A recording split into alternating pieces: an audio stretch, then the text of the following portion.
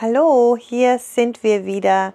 Jetzt, wo wir neue Badlock-Felgen auf dem Goldmann haben, nehmen wir euch mit auf weitere technische Stops quer durch Deutschland. Ähm, und wir besuchen auch noch Freunde, die wir vor ein paar Jahren in Marokko kennengelernt haben. Und wenn ihr wissen wollt, was für Add-ons wir uns noch zulegen, um für überall gerüstet zu sein, dann bleibt dabei. Ihr seht es jetzt in unserem Video. When we wake, hear the birds and see the sun. Side by side our fears are done. Oh, the good times just begun. Oh, we know what we have, let's hold on tight. Found what we're looking for wunderschönen guten Morgen. Es ist noch recht früh, halb acht, und ihr wisst, das ist nicht so unsere beliebteste Aufstehzeit und deswegen hat es einen Grund, warum wir halb acht schon am Kaffee sitzen. Wir haben gleich einen Termin bei Klartrag hier in Tuttlingen und wir haben die Nacht nur fünf Kilometer entfernt von Klartrag verbracht.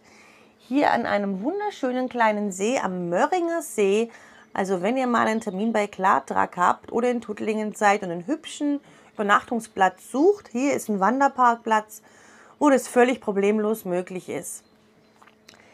Der Termin bei Klartrag hat einen Grund. Ähm, wir haben zwei technische Optimierungen, die wir da machen lassen möchten.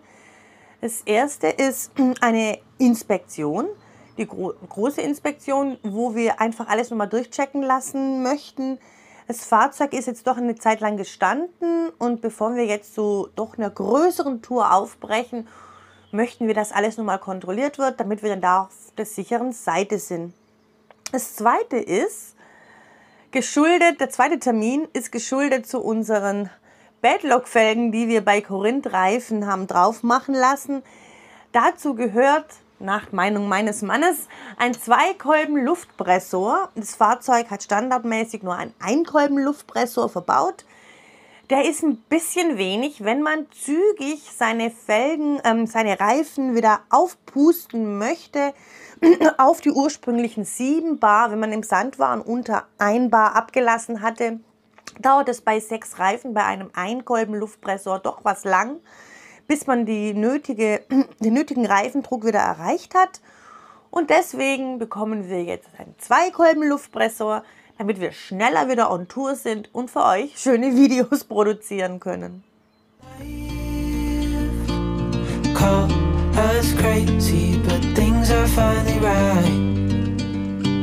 With you and I, the future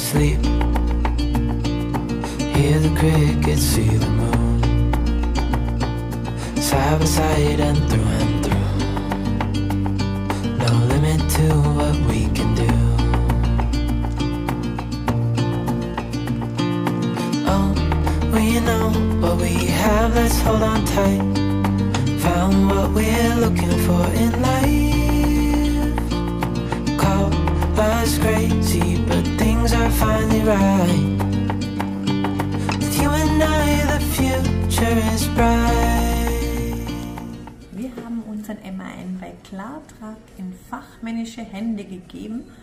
Und was ein Service, wir haben ein Auto bekommen, damit wir uns von A nach B bewegen können, hier in Tuttlingen. Und wir haben uns auch nicht weit weg bewegt, sondern ins nächste gut bürgerliche, geöffnete Restaurant. Es ist nämlich Mittagszeit. Und wir haben uns zur Vorspeise eine Flädlesuppe bestellt und wir genießen jetzt ein leckeres Essen während die Jungs von Klartrag sich über unseren MAN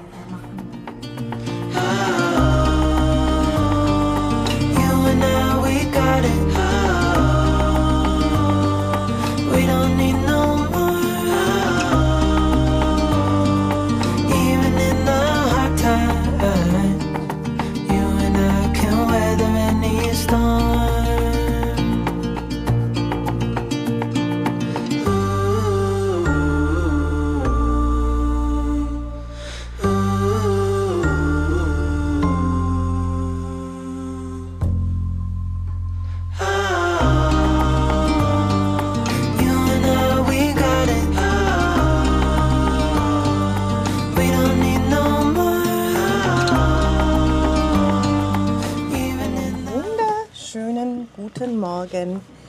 Wir grüßen heute aus Überlingen und da stehen wir tatsächlich auf dem Stellplatz in Überlingen. Der ist nämlich sehr schön und wer schon mal am Bodensee war, der weiß, mit den Plätzen hier ist es doch recht eng.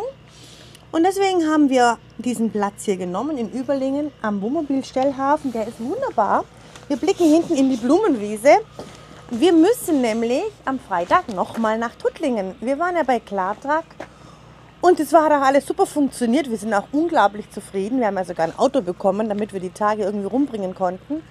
Ähm, aber ein Ersatzteil bzw. ein Teil, das wir mitnehmen möchten auf die Reise, kommt erst am Freitag, weil ja Donnerstag der Feiertag ist.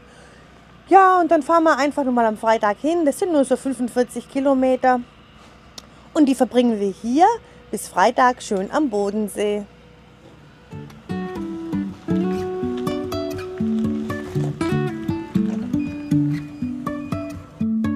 Life is a winding road, no telling where it goes. Driving through days and nights won't stop for traffic lights.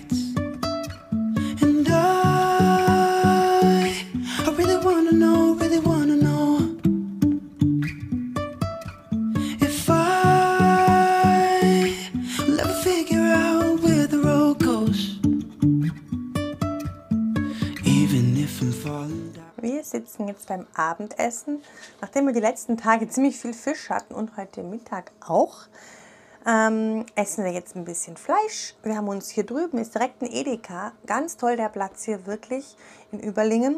Ähm, wir haben uns im Edeka hier ein frisches Tatar geholt und ein bisschen Salat von unten von Markt haben wir noch mitgenommen. Und es gibt leckere Seelen, die liebe ich ja. Ich meine, ich bin ja hier aufgewachsen und ich liebe Seelen und bin dann immer froh, wenn es hier welche gibt, wenn wir in der Gegend sind. Und dann essen wir jetzt unser Abendbrot. Ähm, wir hatten einen wunderschönen Tag, obwohl das Wetter nicht so besonders war. Es war wirklich frisch, es hat zwar nicht geregnet, aber es war wirklich kalt. Ähm, ganz viele hier vom Platz sind in die Therme gegangen. Hier ist die Bodensee-Therme. Es ist nicht weit, da fährt erstens ein Bus hin von diesem Stellplatz hier und mit dem Fahrrad ist es auch ein Katzensprung. Also wenn ihr hierher kommen solltet und mal nicht so gutes Wetter habt, würde ich die Bodensee-Therme empfehlen. Wir waren da auch schon ein paar Mal. Dieses Mal waren wir jetzt nicht, weil wir heute unten in Überlingen waren. Und es war trotzdem nicht so schön Wetter. Ist wirklich ein schöner Tag. Ähm, wir genießen jetzt das Abendessen und morgen soll die Sonne rauskommen. Und dann wird es richtig schön. Und das Beste an diesem Platz ist, wir stehen mit dem Heck ziemlich weit hinten. Und ähm, wir leben ja quasi nach hinten raus jetzt im MAN, nicht mehr nach vorne wie im Deadlift, wo wir vorne die große Panorama, das große Panoramafenster hatten, sondern vorne ist jetzt bei uns die Fahrerkabine und das Bad und der Durchgang. Und hinten haben wir das Schlafzimmer mit drei großen Fenstern und wir stehen hier hinten an der Obstwiese und haben heute Nacht auch nicht zugemacht, weil da ist niemand, da ist das Gras so hoch und die Obstbäume. Das heißt, obwohl wir auf einem Stellplatz stehen, fühlt es sich wirklich an, wie wenn wir mitten auf einer Obstwiese wären.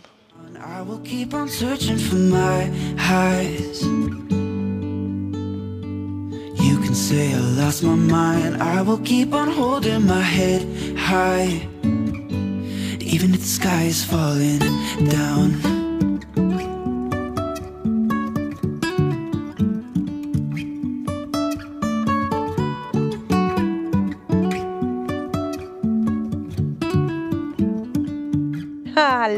Alice im Wunderland. Zumindest fühlt sich ein bisschen so an. Ich bin geschrumpft und alles ist größer geworden. Aber so ist es nicht. Ich sage euch, was wir gemacht haben. Wir stehen hier bei Sinsheim auf einem Waldparkplatz und da der schräg ist, haben wir die Hubstützen ausgefahren. Und unsere Räder sind in der Luft. Und ich sage euch mal was, es ist verdammt weit oben. Simsalabim, wir haben unsere Hubstützen rausgeholt, damit wir vorne hochkommen, damit wir schön gerade stehen. Und es fühlt sich wirklich ein bisschen an, als ob unser Mobil gewachsen ist und ich geschrumpft bin. Und ich könnte jetzt auch bei Regen mich eben hier unterstellen. Das wäre überhaupt kein Problem. Aber wir haben strahlenden Sonnenschein. Und dann kann man es vielleicht auch als Schatten benutzen. Das haben wir noch nicht genau definiert. Auf jeden Fall ist es Wahnsinn, was unser kleiner Goldmann kann. Jumping from cliffs so high trusting our wings to fly. Sometimes we're crashing down, but we get up and start from the ground.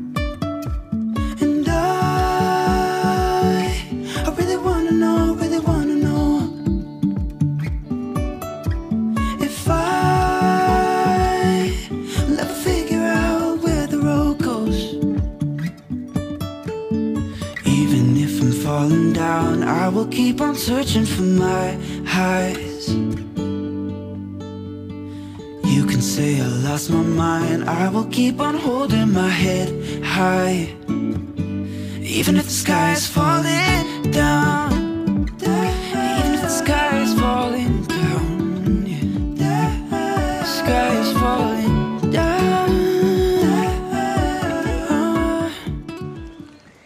haben unsere technischen Stops erledigt und sind wieder auf der Heimreise. Ähm, heute Nacht waren wir auf einem wunderschönen Waldparkplatz bei Sinsheim. Total schön. Da wäre ein Stückchen weiter auch eine Therme gewesen, aber uns war so warm, wir hatten keine Lust auf Thermalbad. Aber echt ein schöner Stop direkt an der Autobahn. Mm, jetzt sind wir auf dem Heimweg. Aber wir haben hier nochmal einen Stopp gemacht. Wir sind in Itstein. Da ist auch ein sehr schöner Platz, man nach Superfair und entsorgen kann. Das müssen wir jetzt gar nicht, aber es gibt hier ein ganz tolles Restaurant. Nur 10 Minuten in der schönen Altstadt, ein Japaner, Deji Doyo heißt der.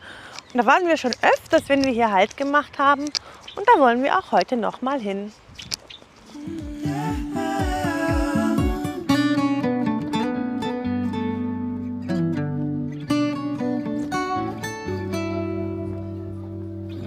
Even if the sky is falling down Even if the sky is falling down Und hier seht ihr den Grund, warum wir immer wieder gerne in Itstein Halt machen. Weil abgesehen von dem wirklich schönen Platz, wo man wunderbar stehen kann und super fern entsorgen kann, gibt es hier fantastisches Essen in dieser süßen Altstadt. Ist nämlich ein ganz, ganz toller Japaner. Und ihr wisst, ich liebe Thunfisch-Tatar. Und das kann ich euch hier wärmstens empfehlen. Also wenn ihr auf der A3 irgendwie an Frankfurt vorbeifahrt, macht einen Itsteinen halt. Das lohnt sich immer.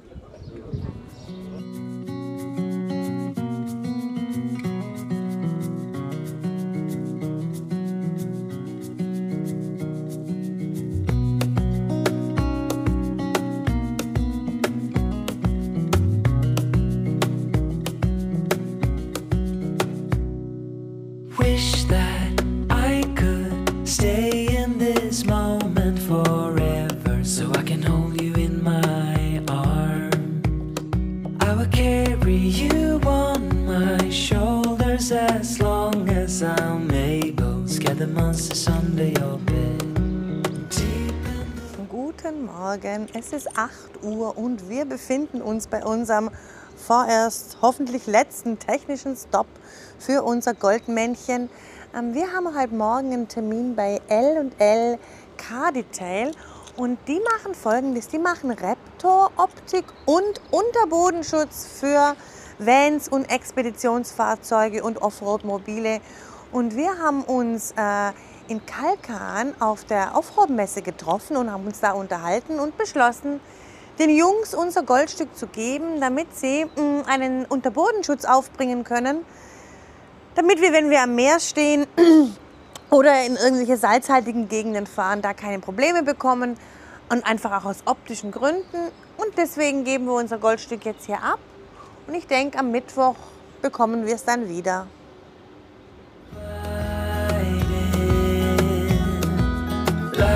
For you is all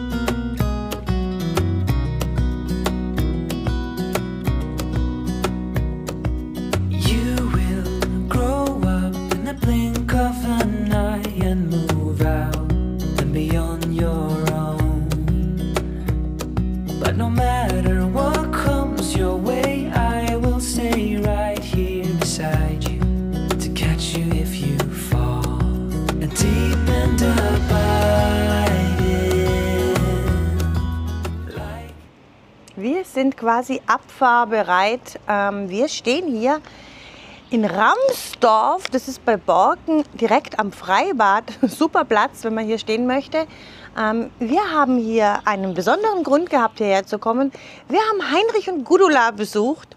Und wer uns schon länger folgt, der kennt sie noch aus Griechenland oder von der Schlona Beach Bar oder auch noch aus Marokko. Ähm, Heinrich und Gudula haben wir vor über vier Jahren, fast fünf Jahren in Marokko kennengelernt und die sind nicht ganz unschuldig an unserem aktuellen Lebensstil. Die haben uns damals gesagt, arbeitet nicht zu viel, hört rechtzeitig auf und das tun wir, wie ihr alle wisst. Ähm, wir haben hier diesen Stop eingelegt, weil wir gestern unser Fahrzeug bei Oberhausen, Duisburg, bei LLK Details abgeholt haben. Da war es zum Unterbodenschutz. Und das war so unser letzter technischer Stop nach Klartrak äh, und Ramin Korinth, den von Korinth Reifen. War das unser letzter technischer Stop für die Optimierung an unserem Fahrzeug? Jetzt geht es dann langsam wieder Richtung Heimat, weil wir ja Ende des Monats in fast zwei Wochen auf die Abenteuer Allrad möchten mit Orangework zusammen. Da geht das Fahrzeug Nummer ein, zwei Tage zu Orangework, um auch noch mal ein paar Sachen machen zu lassen. Und dann sollten wir wirklich fertig sein und gewappnet für die große, weite Welt. Auf dem Rückweg jetzt besuchen wir noch äh, Essen. In Essen besuchen wir äh, Solamento-Reisen mit Sascha Nietzsche. Das ist ein langjähriger Geschäftspartner und Freund von uns, der auch interessiert ist an unserem Mobil. Und wir haben gesagt, wir sind in der Nähe und solange wir noch in Deutschland sind, besuchen wir natürlich jetzt noch den einen oder anderen, der uns über die Jahre ans Herz gewachsen ist und den wir jetzt die nächsten Jahre eben nicht mehr sehen werden. Until my heart I will do everything I